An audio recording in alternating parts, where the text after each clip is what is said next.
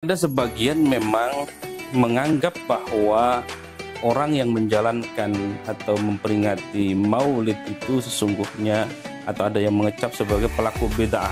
E, sesuatu yang tidak disandarkan kepada Rasul yang tidak dipraktikkan oleh Rasul maka ini dicap sebagai bid'ah.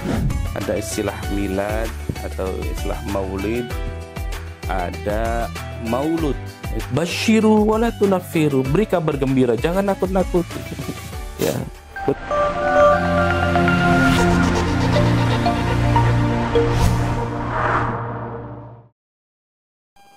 Assalamualaikum warahmatullahi taala wabarakatuh. Waalaikumsalam.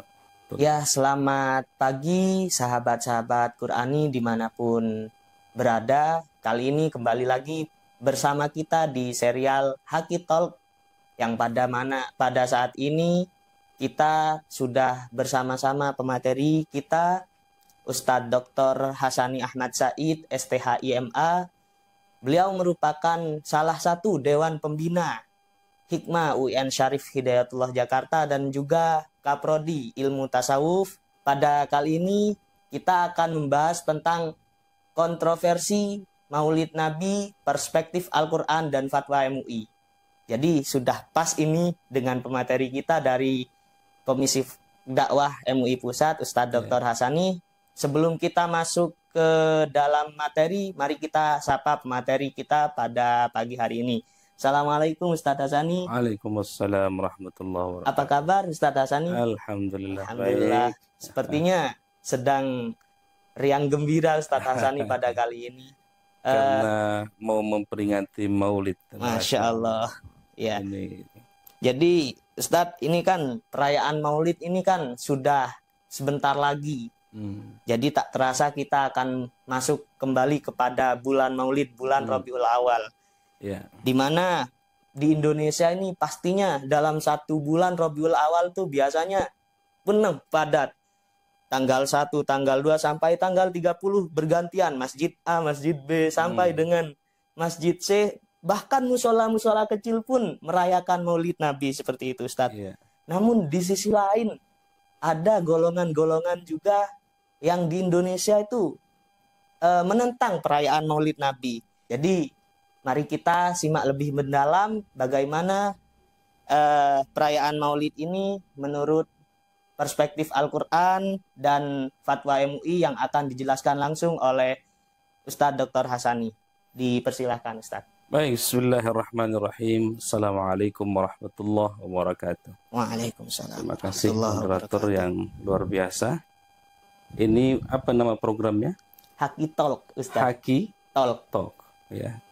Himpunan Kori-Korea mahasiswa eh, berbicara ya atau, atau bincang hikmah ya. Ya, eh, tadi dijelaskan bahwa kita harus bergembira atau kita sesaat lagi akan atau bahkan akan memasuki bulan Maulid. Ya sesungguhnya peringatan di setiap Rabiul Awal itu sedikit saya luruskan dulu ya. E, sejatinya bukan hanya Maulid ya bukan hanya milad ya. Selama ini kan di masyarakat Indonesia atau bahkan di seluruh dunia yang kita yang kita peringati hanya Maulidnya Nabi atau hari kelahirannya dari baginda Rasul Sallallahu Alaihi Wasallam. Padahal di hari yang sama, di bulan yang sama, di Rabiul Awal juga wafatnya baginda Rasul Sallallahu Alaihi Wasallam. Tetapi yang paling populer memang hari lahirnya baginda Rasul Sallallahu Alaihi Wasallam. Maulid itu sendiri diidentikan dengan hari lahirnya baginda Rasul. Sama seperti bahasa lain ada milad ya. Ada harlah ada juga disnatalis ya. Itu sesungguhnya makna-makna maulid atau hari kelahiran yang sama ya. Tetapi secara spesifik eh, maulid itu sesungguhnya diidentikan dengan lahirnya baginda Rasul Shallallahu Alaihi Wasallam. Maka itu kalau kita kilas balik sejarah ya, ketika Salahuddin Al-Ayyubi mem, me, me, membangkitkan semangat juang maka salah satu caranya adalah dengan e, membangkitkan juang para mujahid-mujahid itu ya dengan salah satunya dengan memperingati peringatan e, lahirnya baginda Rasul Shallallahu Alaihi Wasallam.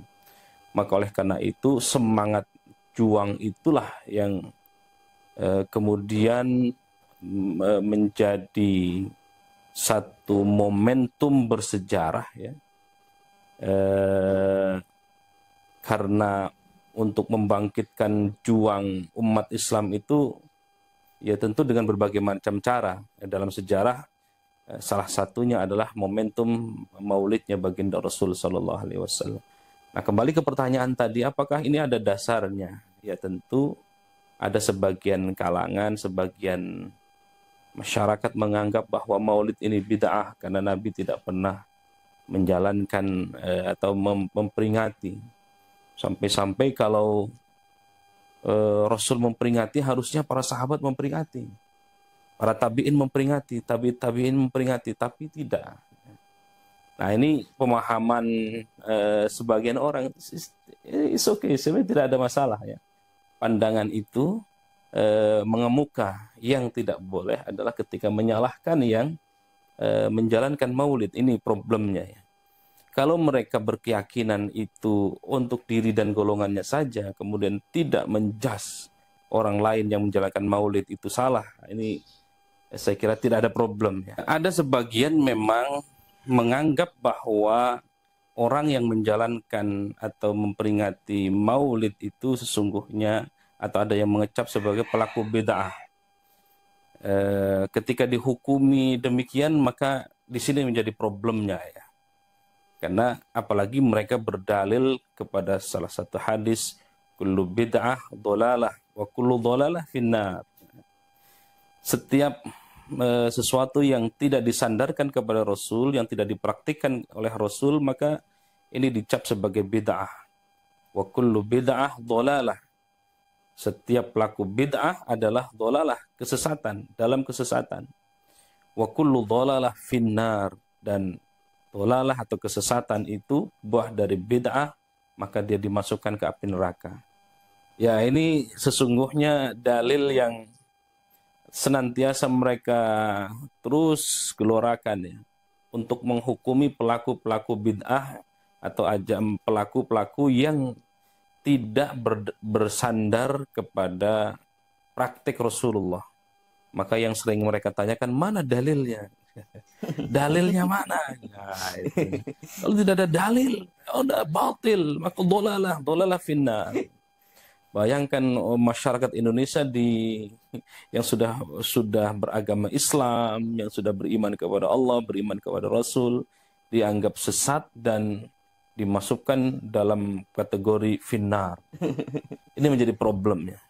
Silakan soal keberagamaan ini kalau memang tidak sependapat meskipun kita punya pandangan berbeda dengan masyarakat pada umumnya, ya silakan tanpa harus menjustifikasi salah, sesat eh, dalam koridor finnar. Ya. Kalau soal khilafiyah, ya, ini kan soal khilafiyah. Kalau soal-soal eh, yang yang sudah qat'i bahwa kita beriman kepada Allah, beriman kepada Nabi, kemudian ada yang mempraktekkan tidak demikian, maka itu yang harus keras ya. Tapi kalau masih Tuhannya sama, nabinya sama, eh, sholatnya sama, masih menghadap kiblat, masih lima waktu, maka akhul muslim itu semuanya saudara kita sesama muslim. Nah, eh, maka spirit itu yang sesungguhnya dipakai oleh Salahuddin Al-Ayyubi untuk menggerakkan masyarakat muslim ya dalam rangka li'ila'i kalimatillah ya. maka tradisi itu sampai sekarang dan bahkan di berbagai negara termasuk Indonesia diperingati sebagai maulid Nabi besar Muhammad sallallahu alaihi wasallam kendati tadi yang saya sampaikan eh, di bulan Rabiul Awal di hari Senin itu bukan hanya maulid saja yang kita peringati tetapi sesungguhnya hari wafatnya baginda Rasul juga di hari dan bulan yang sama. Ya, saya kira itu. Ya. Oke, jadi sobat Qurani di mana pun berada yang dirahmati oleh Allah, jadi di bulan Rabiul Awal tuh sebenarnya bukan hanya perayaan tentang kelahiran Nabi Muhammad, hmm. tapi juga perayaan wafatnya Nabi Muhammad ya Ustaz. Betul, betul. Jadi seperti itu, jangan hanya dirayakan senang-senangnya saja, jangan hanya dirayakan uh, Nabi kita lahir, tapi kita juga harus merenung pada bulan Rabiul Awal juga pimpinan kita, panutan kita itu juga wafat pada hari yang sama. Jadi hmm. seperti itu. Uh, kemudian Ustadz, nah perayaan Maulid Nabi ini tidak lepas dari kontroversi. Ada hmm. sebagian hmm. umat tadi yang merayakan bentuk cinta kepada Nabi Muhammad Sementara sebagian yang lain itu menganggap bid'ah. Hmm. Atau inovasi dalam agama tidak pernah dicontohkan oleh Nabi. Iya. Seperti itu. Mungkin ada beberapa pandangan dari Al-Quran, dari ayat-ayat Al-Quran tentang maulid Nabi Ustaz.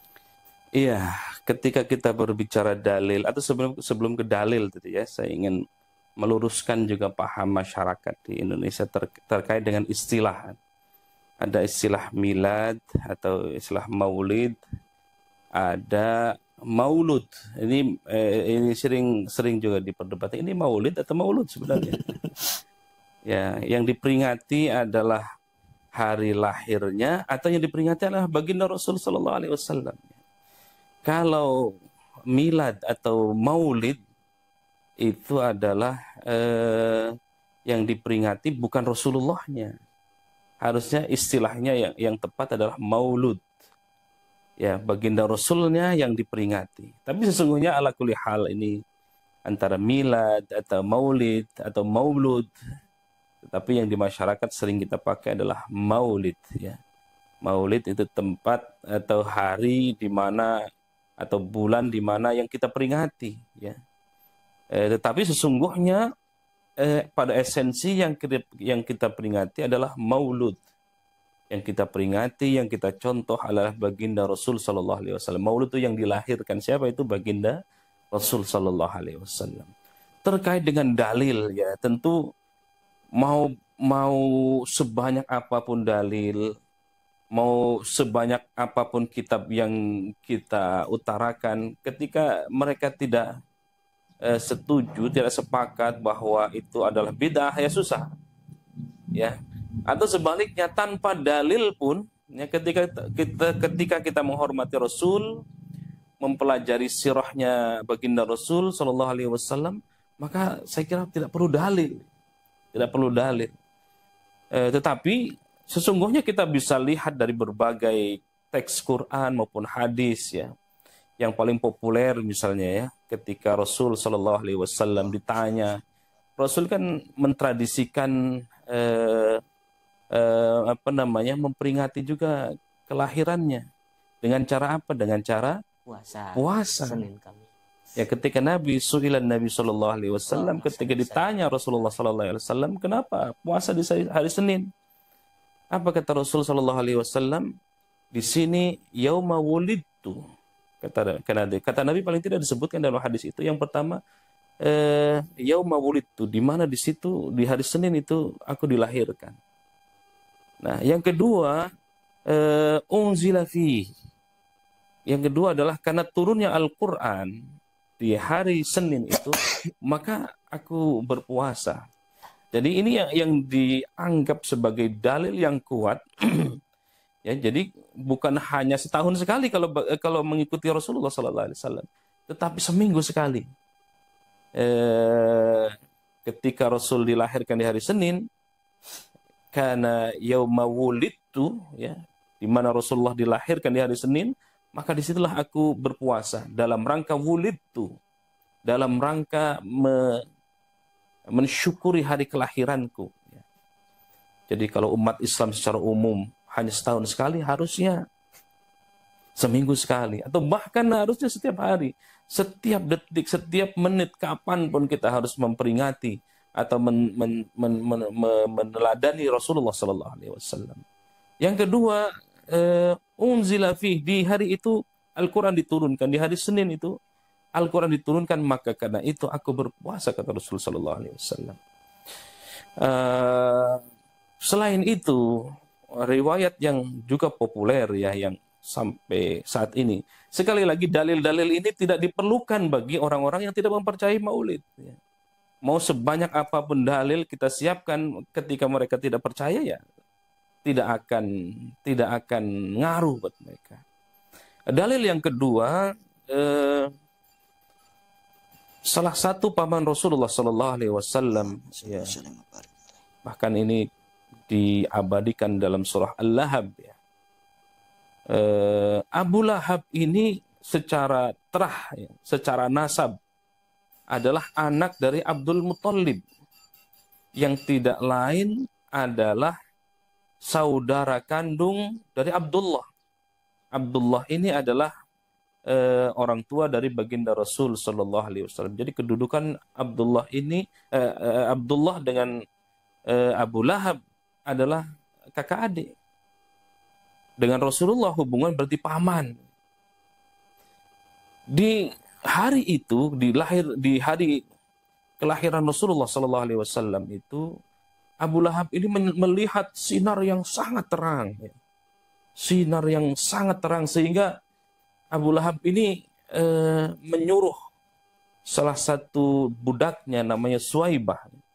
Coba Suaibah lihat itu kok di di salah satu tempat itu ada sinar yang sangat terang gitu. Lalu Suaibah e, mendatangi sinar yang terang itu.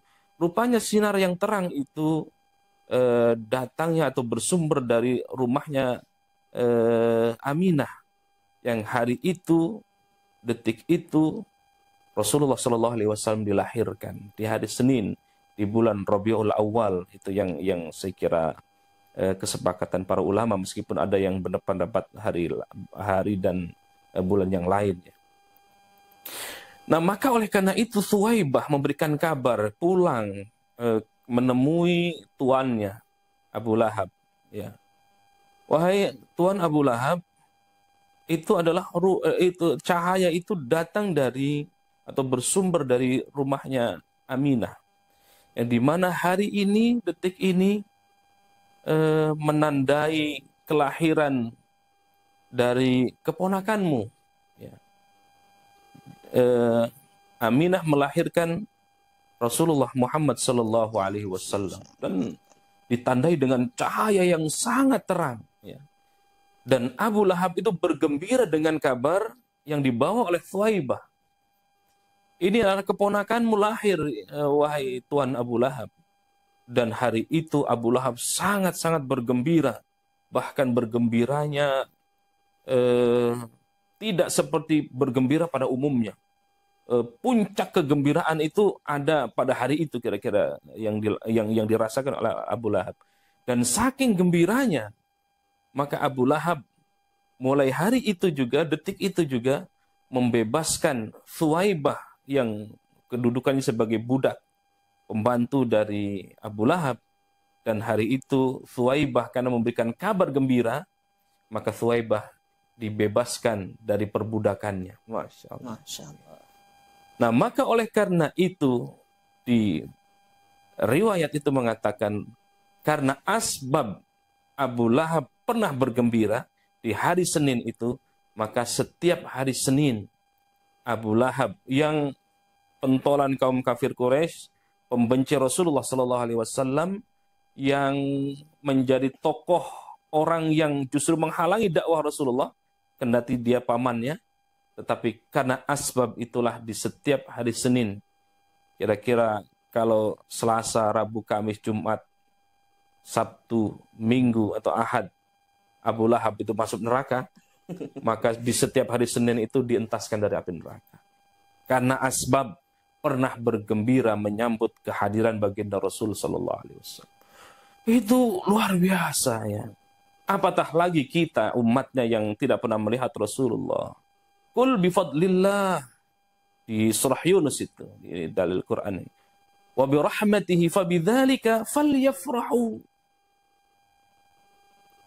Kul bifadlillah, kul bifadlillah katakan karena kemuliaan, karena rahmat fadlillah di sini dipahami oleh uh, Ibnu Abbas dalam tas, dalam tafsir uh, Tanwir Al-Miqbas. Bifadlillah di sini adalah ilmunya Allah. Ai ilmillah, ilmullah. Warahmatih. Rahmatnya di sini kata Ibnu Abbas adalah Rasulullah Sallallahu Alaihi Wasallam. Maka fabidzalika dalam ayat itu fabidzalika falyafrahu ya fal yafrahu maka hendaklah karena ilmunya Allah karena keutamaannya Allah dan rahmatnya Allah rahmat Allah ini adalah baginda Rasul sallallahu alaihi wasallam fal yafrahu maka kita harus bergembira. Bergembira datangnya Rasulullah bergembira dat karena adanya baginda Rasul sallallahu alaihi wasallam. Dan ini kata Allah huwa khair. Ini lebih baik buat kita buat kalian semua. Ya Masya Allah. Kalau kita membaca teks-teks uh, yang ditulis oleh para ulama itu ya, para ulama mengatakan kalau bukan karena baginda Rasul Sallallahu Alaihi Wasallam maka alam jagat raya ini pun tidak akan diciptakan. Ya Allah. Kalau bukan karena Rasulullah Sallallahu Alaihi Wasallam maka langit bumi ini tidak akan diciptakan. Kalau bukan karena Rasulullah Sallallahu Alaihi Wasallam Allah tidak menciptakan makhluk-makhluk yang lain. Ya Allah, ya Allah. Bahkan baginda Rasul Sallallahu Alaihi Wasallam eh, dikenal sebagai Sayyidul Anbiya wal Mursalin. Penghulunya para nabi dan rasul. Bukan hanya 25 nabi, tetapi ribuan nabi. Sayyidul Anbiya sebagai penghulunya, sebagai eh, pimpinannya adalah baginda Rasul Sallallahu Alaihi Wasallam.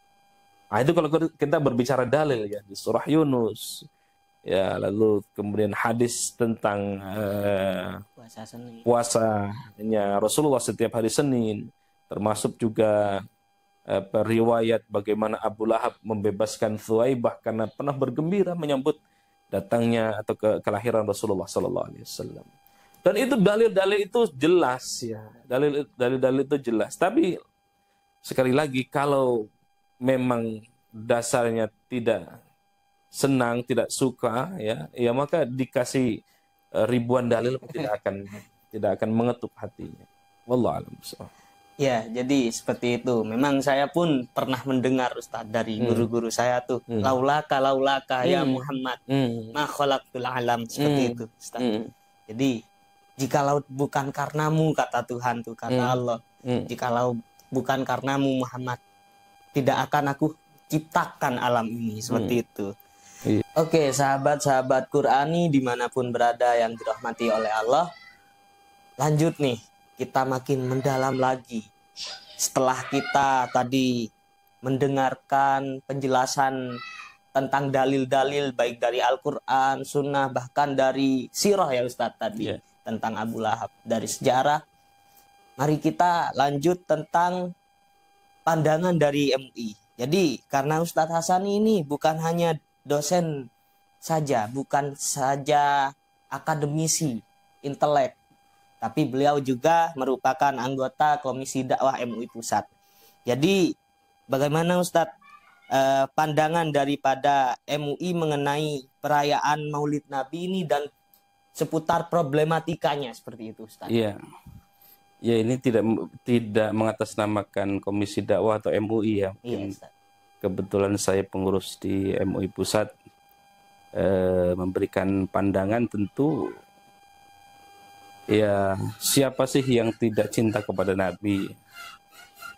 Kalau kita mengekspresikan dengan berbagai macam eh, tradisi itu selama tradisi itu diisi dengan tablik akbar dengan baca Quran dengan ritual-ritual yang baik sedekah kira tidak ada problem itu.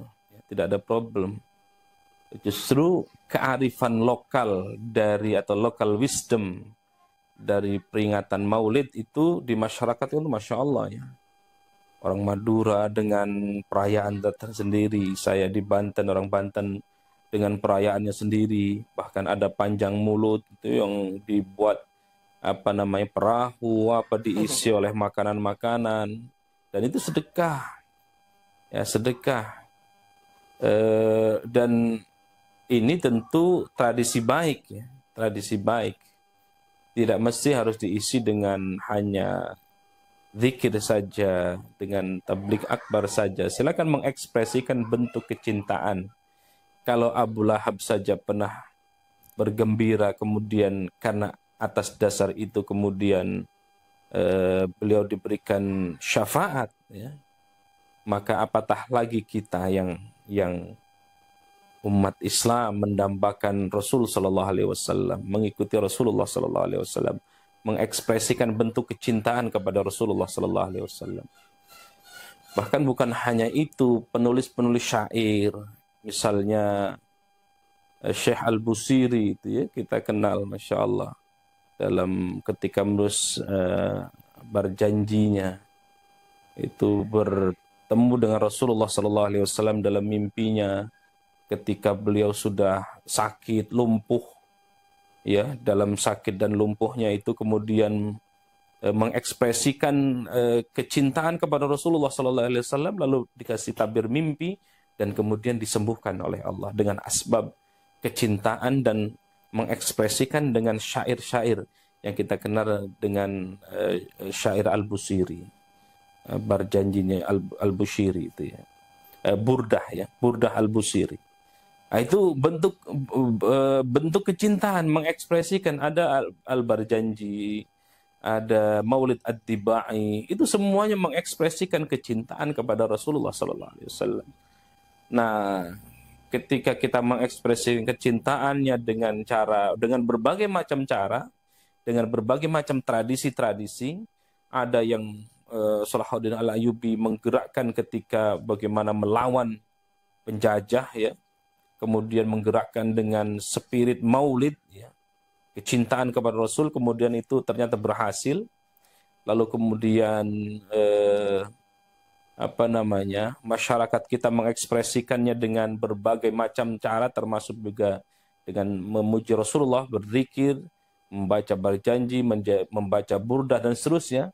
Itu saya kira sah-sah saja, ya. Tidak ada eh, tidak ada dalil atau tidak ada apa namanya penguat alasan untuk untuk me, untuk mengkafirkan, untuk membedaahkan Alhamdulillah minta Ya, saya kira itu. Oke, jadi itu teman-teman sekalian. Jadi Maulid ini sebuah tradisi yang baik seperti itu. Jadi tidak usah diperdebatkan lagi apalagi sampai menjustifikasi hmm. tadi ya Ustadz hmm. menjustifikasi bid'ah terus iya. setelah yeah. dijustifikasi bid'ah dijustifikasi dolala hmm. dijustifikasi finar pula hmm. jadi jangan sampai kita termasuk orang-orang seperti itu kalau teman-teman tidak setuju ya hmm. tidak setuju saja ya Ustadz yeah. untuk dirinya saja yeah. jangan sampai apa memprovokasi orang lain bahkan diprovokasinya sampai seperti itu apalagi hmm. kita sama-sama bertuhan satu dan nabinya sama iya. seperti yeah. itu Ustaz. Yeah. Syahadatnya masih sama, sholatnya masih sama. Yeah. Iya. Uh, kemudian lanjut Ustaz. Saya hmm. dari tadi sebenarnya ada unek-unek Ustaz. Hmm. Ada ganjel-ganjel seperti itu di otak hmm. saya. Jadi di awal tadi kan uh, kita membahas bahwasanya Maulid ini eh bulan Rabiul Awal ini bukan hanya tentang Maulid, tapi hmm. juga tentang wafatnya Nabi hmm. Muhammad Shallallahu hmm. Alaihi Wasallam. Yeah. Jadi di Indonesia itu juga ada tradisi tahlilan kan Ustaz. Hmm. Dan seseorang itu yang dirayakan bukan dirayakan ya, hmm. terlalu kasar bahasanya kalau hmm. dirayakan. Yang diperingati itu setiap tujuh hari, tiga hari, lima hari, hmm. empat puluh hmm. ditahlilin gitu Ustaz. Hmm. Seribu setahun seperti yeah. itu. Haul kemudian dan seterusnya seperti hmm. itu Ustaz. Jadi dan berbeda dengan Nabi tadi. Hmm. Nabi itu uh, yang dirayakan, yang diperingati itu maulidnya. Padahal di hari yang sama, di tanggal yang sama juga Ustaz, hmm. di bulan yang sama. Yeah. Itu menurut pandangan Ustadz bagaimana Ustadz? Iya, seperti yang saya informasikan di awal bahwa di hari Senin di bulan Rabiul Awal itu bukan hanya mauludnya ya, atau maulidnya, hari lahirnya ya. Jadi yang kita peringati sekali lagi bukan hari lahirnya tetapi maulud yang dilahirkan itu. yakni baginda Rasul Sallallahu Alaihi Wasallam. Jadi istilah yang tepat itu Mauludun Nabi, Maulud Mauludun Nabi Sallallahu Alaihi Wasallam. Ya, eh, ada satu eh, ruang kosong saya kira. Maka di diskusi ini saya kira penting kita syiarkan kepada umat Islam, khusus umat Islam Indonesia ya.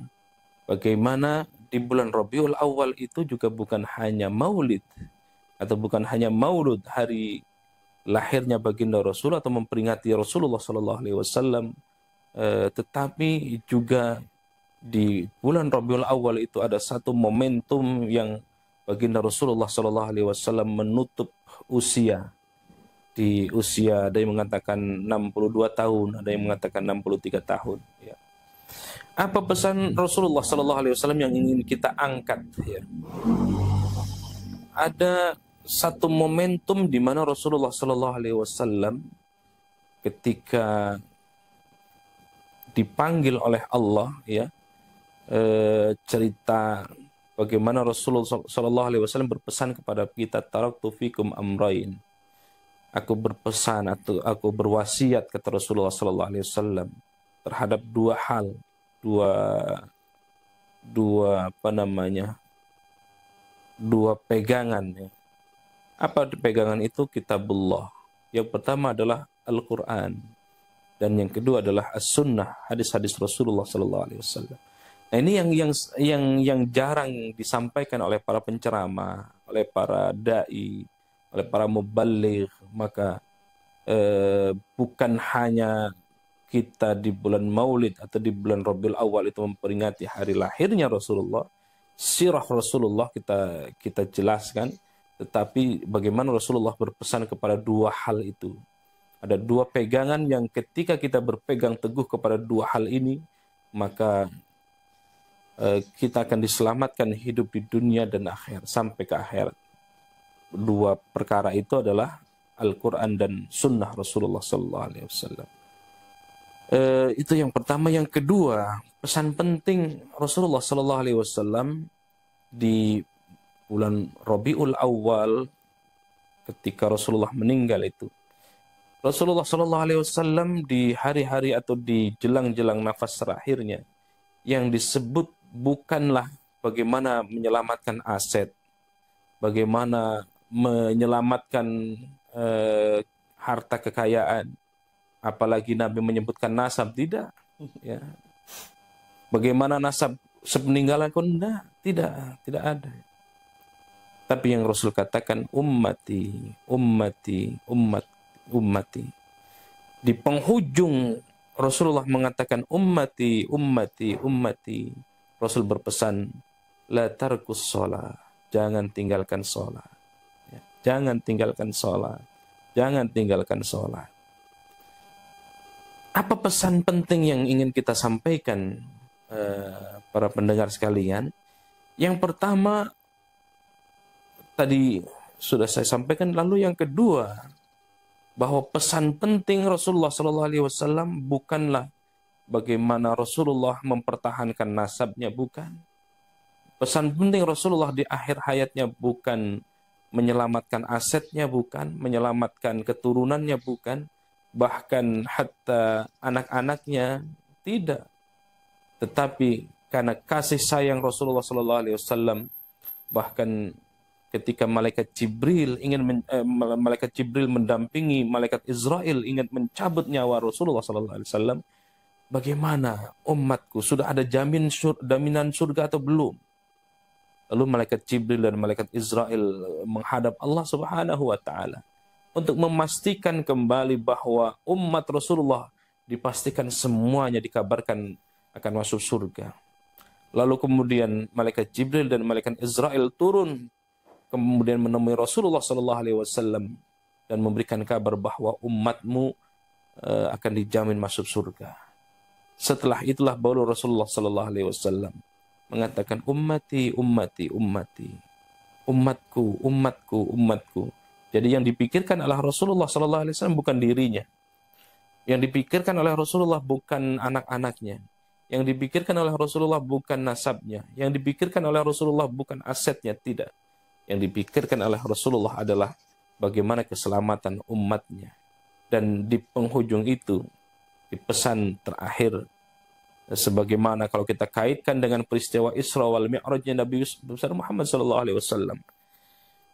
Ketika Allah memerintahkan kepada Rasul untuk uh, untuk bayar zakat, Allah tidak berkepentingan untuk memanggil Rasulullah bertemu langsung dengan Allah.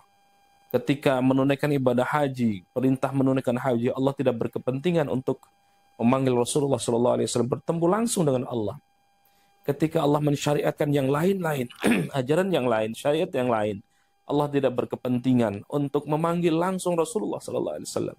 Tetapi begitu Allah Subhanahu Wa Taala ini memerintahkan salat, maka Allah berkepentingan memanggil Rasulullah bertemu langsung dengan Allah sampai ke Rafraful A'la melewati langit pertama, kedua, ketiga, keempat, kelima, keenam, ketujuh sampai ke Sidratil Muntaha dan sampai bertemu dengan Allah Subhanahu wa taala. Maka pantas Rasulullah sallallahu alaihi wasallam di penghujung akhir hayatnya kata Rasul berpesan berwasiat jangan tinggalkan sholat. Ya, jangan tinggalkan sholat, jangan tinggalkan sholat.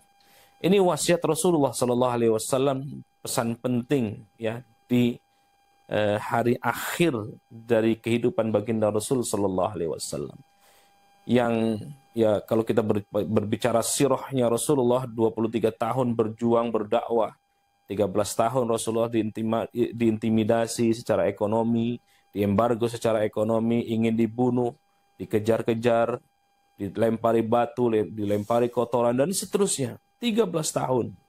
Lalu kemudian Rasul 10 tahun setelahnya berdakwah di Madinah ya. Mempersatukan kaum Ansor, kaum Muhajir kaum Ansor. Eh, memberikan visi misi kemanusiaan bahwa semua setara ya. Eh, muslim non muslim setara ya. Eh, menyebarkan salam, kedamaian dan seterusnya.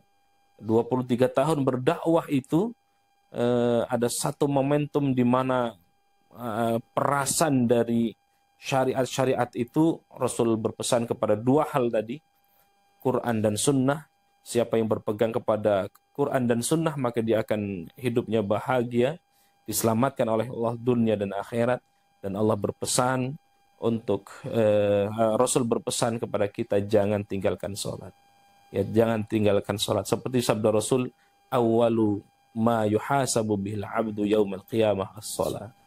Bahwa rangkaian amalan ibadah yang pertama kali akan dihisap, akan ditanya oleh Allah adalah bukan amalan yang lain-lainnya, bukan hajinya, bukan puasanya dan seterusnya, tetapi awwalu ma yuhasabu bil abdu yaumil qiyamah as-shalah. Di hari kiamat itu yang ditanyakan oleh Allah adalah bagaimana kualitas salat. Maka inilah yang digambarkan dalam Al-Qur'an, salat itu mestinya memberikan dampak, memberikan efek tanha anil fahsya wal munkar. Orang yang sholatnya sudah baik, mestinya dia e, sosialnya juga baik. Orang yang sholatnya sudah baik, mestinya tidak mungkin akan melakukan korupsi. Orang yang sholatnya, kualitas sholatnya sudah baik, para mahasiswa mestinya menjadi mahasiswa yang terbaik. Orang yang sholatnya sudah baik menjadi dosen-dosen terbaik. Orang yang kualitas sholatnya sudah baik menjadi anggota dewan, dewan yang anggota dewan yang terbaik. Dan sampai tingkatan presiden menjadi presiden terbaik yang amanah yang uh, bukan hanya memperhatikan diri dan golongannya tapi bagaimana uh, berbicara soal umat. Inilah misi yang terbesar dari Rasulullah Sallallahu Alaihi Wasallam ya. Uh, maka itu Rasul berpesan kepada kita kata Rasul dalam pesan pendeknya anta ma'aman ahbabta engkau beserta orang yang kau cintai kalau yang kita cintai, yang kita gandrungi, yang kita senangi adalah baginda Rasul Sallallahu Alaihi Wasallam, maka kita pun pasti akan bertemu berjumpa dengan orang yang kita cintai, yakni Rasulullah Sallallahu Alaihi Wasallam.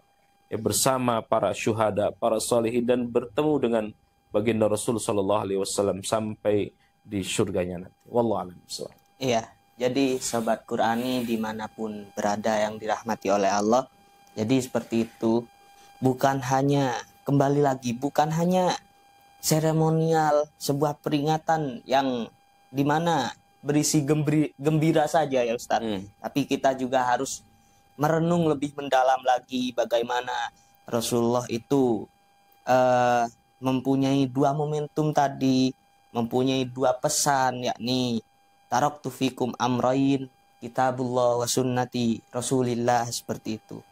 Jadi dan perjuangan-perjuangan Rasulullah bahkan di saat-saat sakaratul mautnya pun beliau ingatnya umati umati umati bukan anakku ya Ustaz. Hmm. bukan anakku bukan istriku bukan siapa-siapanya. Umatnya yang didahulukan. Kepentingan bersama kepentingan berkelompok.